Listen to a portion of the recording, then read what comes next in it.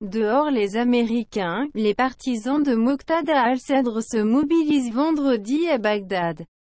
Les sympathisants de Moqtada al-Sadr manifestent vendredi à Bagdad pour demander l'expulsion des troupes américaines d'Irak.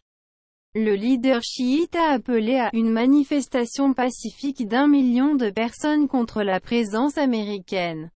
Aux premières heures du jour, vendredi 24 janvier, une marée humaine a déjà envahi Bagdad, rapporte Cyril Payen, envoyé spécial de France 24 ans en Irak.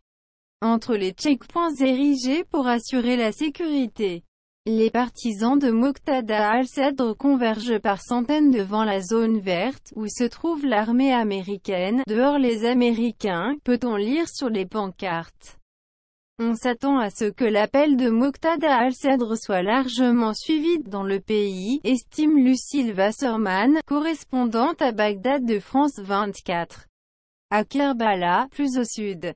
Ses fidèles ont pris des bus pour rejoindre Bagdad. Il ne faut pas sous-estimer la colère qu'a provoqué la frappe américaine contre le général Qassem Soleimani, émissaire de Téhéran en Irak et d'Abou Mehdi al-Mouhandi, son lieutenant irakien et numéro 2 du HAC-HD al-Shahabi, ajoute-t-elle, force d'occupation, cette frappe a ravivé un sentiment anti-américain dans le pays.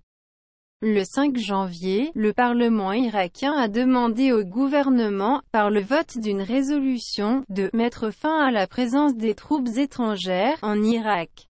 Dans les rangs sadristes. La volonté est encore plus marquée en raison du passé de Moqtada Sadr, qui a longtemps combattu les forces américaines dans les années 2000.